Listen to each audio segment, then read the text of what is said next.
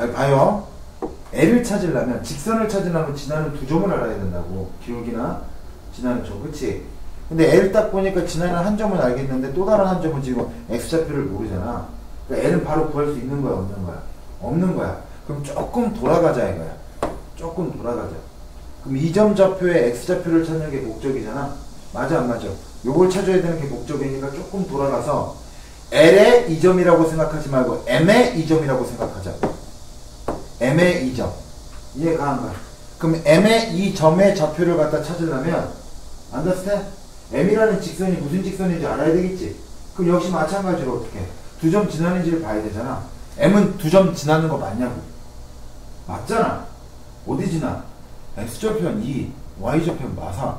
겁내 친절하네. 이해가 안 가?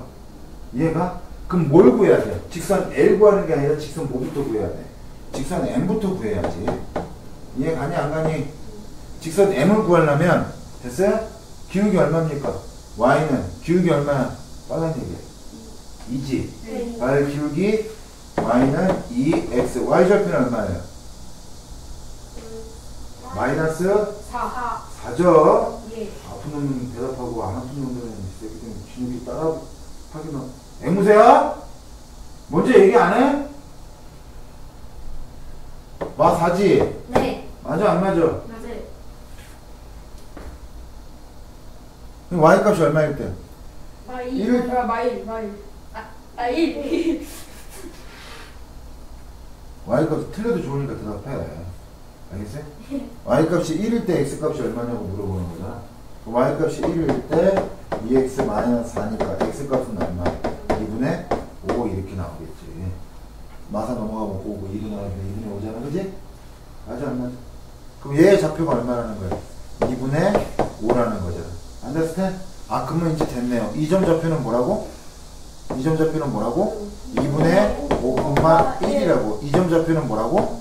2분의 9, 마이너스 1이라고 그러면 L 구할 수 있어 없어?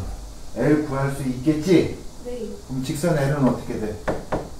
직선 L은 기울기 얼마인지 보자 2분의 9에서 2분의 5 빼면 얼마야? 2분의 4지? 그럼 Y는 얼마? 2X 이렇게 시작하는 거지? 네. 맞아 안 맞아? 그 여기 2분의 5, 1을 갖다 집어넣어봐 그러면 1은 2 곱하기 2분의 5인데 맞니 안 맞니? 1은 1은 약분 되겠지? 그러면 1은 뭐랑 더해야 이거 5가 나와? 4. 뭐? 4. 아, 모르겠냐, 좀? Y는 2x 플러스 b라고 놓고서 1, 5, 2분의 5, 1을 갖다 집어넣으면 되겠지. 맞아, 안 맞아? 너 b값은 얼마나?